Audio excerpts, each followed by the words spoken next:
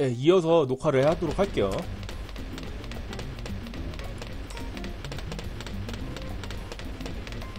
지금 잘 잡고 있고 이제 다음 라운드가 이제 주요점인데 초보분들은 라운드를 잘 모르시는 이제 초보분들은 다음 라운드에서 많이 탈락을 해요. 다음 라운드는 이제 뭐냐면은 이제 MOAB 등급의 이제 풍선이 하나 나오는데 이게 이제 초보분들은 못 잡으실 때도 있어요. 이게 갑자기 나오면 당황스럽거든요.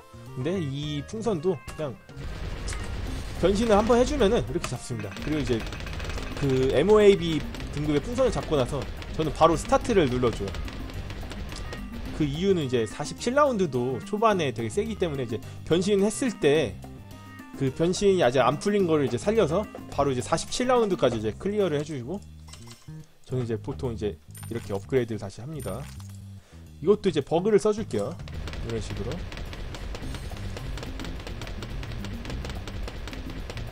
그리고 이제 변신할 수 있는 원숭이를 두 마리 만들어줬습니다. 안전하게, 최대한 안전하게 할게요.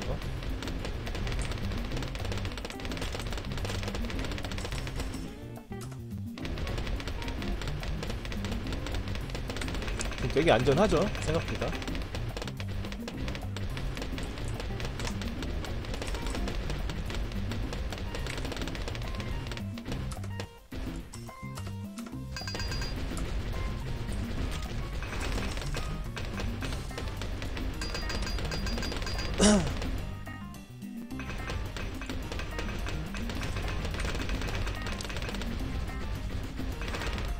그리고 이제 뭐 이제 와- 마을도 업그레이드를 좀 해줄게요. 일단은 뭐 농장부터 농장 농장 이제 이게 세개 세 개째죠.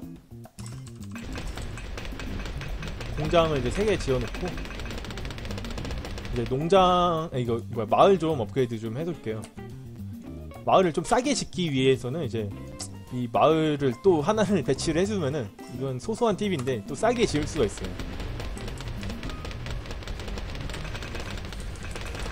거의 이제 MOAB 등급의 이제 풍선이 나오면은 변신을 해준다고 생각하시면 돼요. 요건 이제 팔고 MOAB 나오면 이제 변신.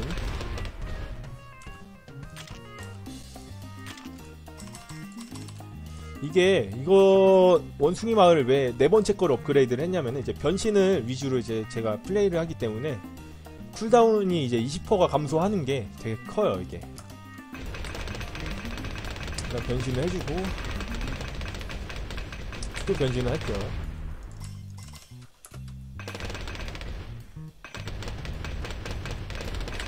위험할 때마다 그냥 변신 눌러주시면 이렇게 안전하게 클리어를 할 수가 있거든요.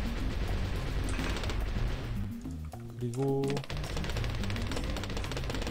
공장 4개.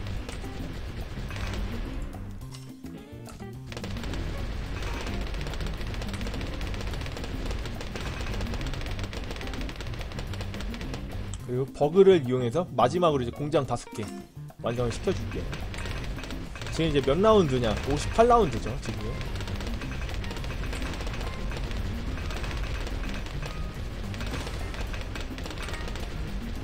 이제 슬슬 뭘 하느냐. 이제 이 마을 근처에 지으면은 타워가 가격이 싸잖아요. 그걸 이용해서 이제 어, 슈퍼 원숭이를 지어볼게요.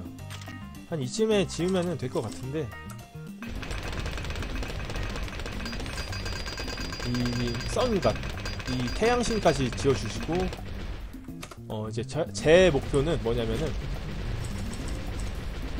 그 태양신 다음에 이제 뭐 피라미드인가? 이거 뭐였지? 저걸 뭐라고 하지? 저거까지 완성을 시킬게요. 저거를 이제 어떻게 완성을 시키느냐? 재료를 이제 모아놔야겠죠? 재료는 이제 이 피라미드의 재료는 그냥 아무 원숭이랑 이제 이 대포, 대포랑 이 아이스 타워. 아이스 타워는 업그레이드가 아직 다 안 되네요, 제가. 그리고 이 글루 풍선. 글루 풍선도 이제 흡수를 해요. 피라미드로 변신하면은 글루 풍선도 쏩니다. 그리고 이제 마지막으로 마법사. 그리고 이제 업그레이드 비용은 18,000 18 10만 8천 원인데 이제 농장을 팔면은 돈이 됩니다. 마법사 이제 마저 업그레이드를 해주시고 요거를 이제 뽑으시면 되겠죠. 그럼 이제 모든 이제 재료는 다 썼고 이걸 이용해서 이제 가만히 냅둬도 클리어가 되거든요. 사거리가 되게 길어요. 지금 뭐 그냥 60 60라운드 이쯤부터 이제 손을 놓고 플레이를 하시면 될 것 같아요. 그냥 제가 이제 예전에 어떻게 하면 이걸 이제 편하게 깰까 이 생각을 했는데 이게 좀 제일 어떻게 보면은 쉬운 방법인 것 같아요. 그냥 85라운드까지 알아서 다 깨주니까. 그쵸? 지금 잘 잡고 있죠, 엄청.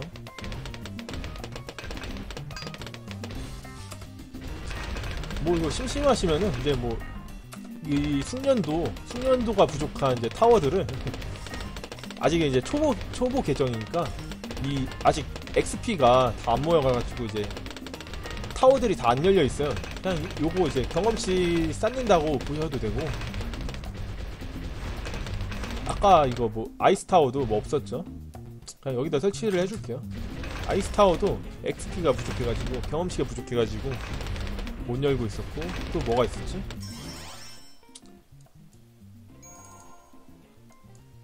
그쵸? 이렇게 경험치를 쌓아주는 것도 중요해요. 언제 또 필요한 필요한 타워들이 있어요. 각 맵마다 각 맵마다 이제 딱딱 필요한 타워들이 있기 때문에 이렇게 그냥 설치를 해줄게요.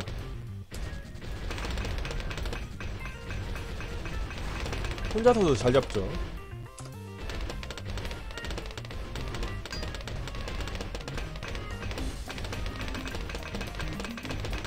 그리고 이제 요 피라미드 슈퍼 원숭이 이거 뭐야 이거 마지막 업그레이드 하면은 알아서 이제 camo도 보기 때문에 camo 풍선 이거 보게 하는 거 업그레이드 안 해주셔도 되고 납풍선은 당연히 부십니다 얘가 한이 상태로 이제 냅둬도 될 것 같아요. 그 게임 시작만 눌러주시고.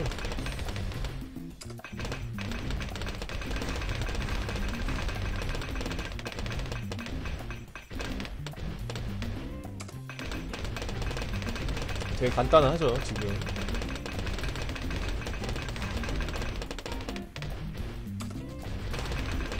이게 나중에 이제 판매가 그 원숭이 실험실에 있는 판매가랑 시작 현금을 이제 다 이제 업그레이드 풀어, 풀로 업그레이드를 해주시면은 이 슈퍼 원숭이를 제가 한 50라운드 그쯤에 뽑아본 적도 있어요. 이 피라미드를 50라운드 그쯤 되나? 더 빠른 더 빨랐던 것 같기도 하고. 그래서 이제 판매카부터 초보분들은 제 주관적인 생각인데 판매카부터 이제 업그레이드를 해주시는 게 토큰을 이용해서 업그레이드를 해주시는 게 좋다고 생각을 해요. 그게 있어야지 이제 막 농장을 이렇게 지으면서 이제 파- 팔면서 막 업그레이드 이렇게 해주시고 하는 플레이가 가능하기 때문에 개인적으로는 이제 그렇게 생각하고 있습니다. 근데 이 블룬 치퍼 때문에 좀 잡는 속도가 느리네요. 블룬 치퍼를 좀 없앨게요.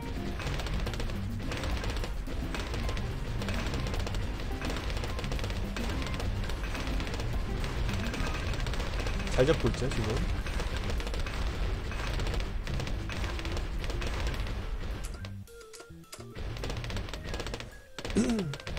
그냥 이 피라미드 한 마리만 있으면은 85라운드까지 그냥 깬다고 보시면 될 것 같아요. 이거 업그레이드는 다 돼 있나? 음, 다 돼 있네.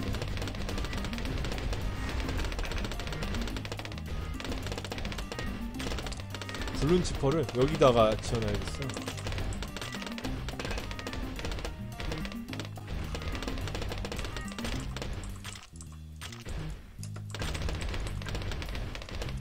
타워 업그레이드 좀 해볼게요. 막간을 이용해서.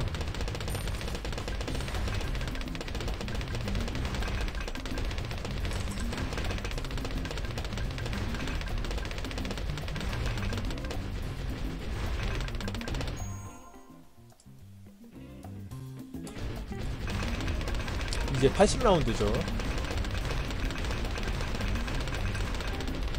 제가 예전에 진짜 어떻게 쉽게 깰까 이 생각을 많이 고민을 했었는데 진짜 편하지 않아요?